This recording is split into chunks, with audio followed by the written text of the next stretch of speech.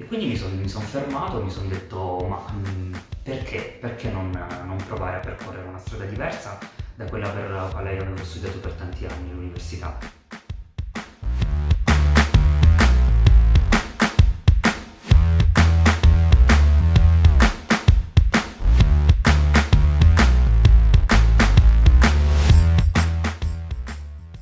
Nome? Salvatore. Cosa fai nella vita? Chi sono? Io sono un ragazzo di 36 anni, nato e cresciuto in Abruzzo, una terra che amo particolarmente e che rappresenta dei, eh, una delle poche vere costanti della mia vita. Ho trascorso un'infanzia e un'adolescenza molto serene, direi un, come tanti altri ragazzi, un percorso universitario lineare. E, mi sono laureato in ingegneria e a 29 anni mi sono trasferito a Torino dove sono tuttora e dove lavoro come ingegnere in un'azienda in città e a 32 anni ho comprato casa, insomma, mm, che al giorno d'oggi non è poco, anzi, insomma un percorso che all'apparenza può sembrare impeccabile, mm, solo che diciamo che qualche anno fa mi sono reso conto che eh, all'interno di questo percorso apparentemente perfetto avevo probabilmente trascurato la cosa più importante, ovvero me stesso e i miei sogni e le mie passioni. Quindi ho iniziato, per rispondere alla tua domanda, penso di essere un ragazzo testa, con la testa sulle spalle, con um, ambizioni e emotivo e che sta attraversando un periodo di forte cambiamento personale e professionale. Quale passione guida la tua vita? Sicuramente la voglia di, di esplorare, di conoscere, di sperimentare in, uh, in qualunque contesto io mi trovi. Se è un contesto legato ai viaggi, ancora meglio. Se ti dico onda, che cosa pensi? A cosa penso? Beh, sicuramente penso alla prima volta che ho visto l'oceano. Era il 2013 in Australia e ricordo una potenza inaudita delle onde che mi ha trasmesso un po' di inquietudine, ma allo stesso tempo eh, tanta libertà un senso di libertà che non avevo mai provato e che credo non dimenticherò mai. La prima onda che ti ha travolto e ha cambiato qualcosa nella tua vita? In realtà ce ne sono state tante di, di esperienze, di onde, che posso definire delle onde travolgenti che mi hanno, hanno segnato il mio percorso di vita. Probabilmente però l'esperienza in viaggio più significativa che ha dato una svolta veramente a questo mio percorso umano e professionale è stato un viaggio in realtà mh, all'apparenza breve e diciamo anche abbastanza mainstream se vogliamo, ovvero un viaggio di tre anni fa in Giordania con alcune delle persone più importanti della mia vita, amici di una vita.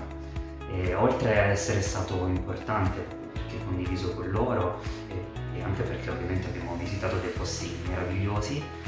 È stata una svolta perché mh, l'ho vissuto vera- intensamente fin dall'inizio, fin dal momento in cui questo, questo viaggio è stato sognato passando poi per la sua progettazione, la realizzazione, la, la condivisione di, dei momenti eh, di questo viaggio fino poi ad arrivare ai ricordi uh, che, hanno, che continuano ancora ad oggi.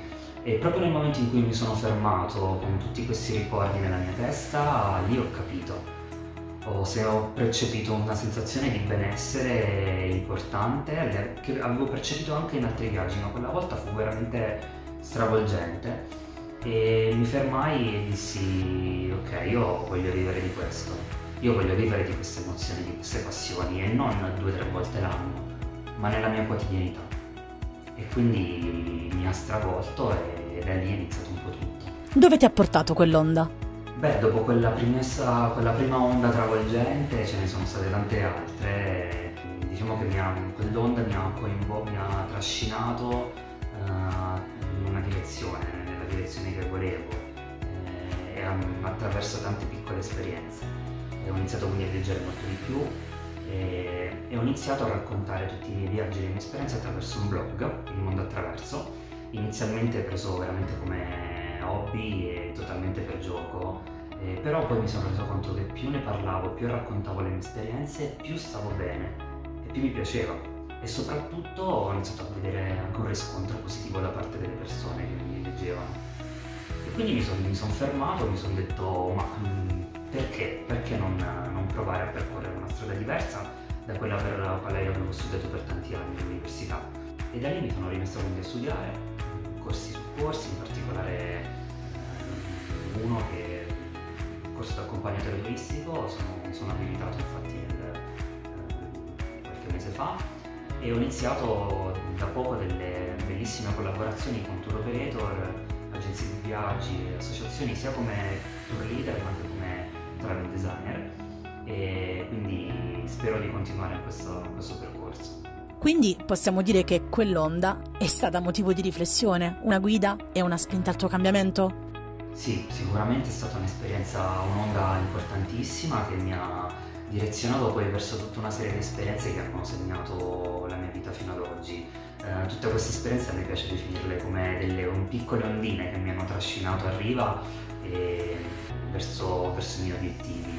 Sono stati tanti momenti di vita, tanti viaggi importanti come quello eh, dopo quello in Giordania di cui vi ho parlato, eh, in Islanda ad esempio che è stato il mio primo viaggio che ho raccontato nel mio blog, anche il viaggio in Africa che è stato totalizzante soprattutto dal punto di vista umano, e un viaggio che ho fatto in bicicletta da Torino in Abruzzo l'anno scorso che mi ha insegnato tantissimo e cioè che con, con la fatica, il sudore, il lavoro si ottengono i risultati. E infatti non a caso dopo quel viaggio mi sono iscritto al corso turistico. Che ruolo giocano l'ispirazione e gli esempi nel percorso di chi vuole vivere la propria vita appieno, all'insegna di una mission, di una profonda passione e non sa da che parte cominciare? Eh, io penso che sì, eh, le persone, eh, segnali, guide, anche proprio dei pers- personaggi possono essere veramente da ispirazione, rappresentare sì, quell'onda travolgente per seguire le proprie passioni, per, per, per cambiare la propria vita. Penso che però um, non basti, io sono d'accordo, penso che ehm, non basta essere travolti da queste onde, ma bisogna anche avere il coraggio di cavalcarle, di seguirle. Sei stato invitato ad essere partner ufficiale di Onda D. Perché hai accettato?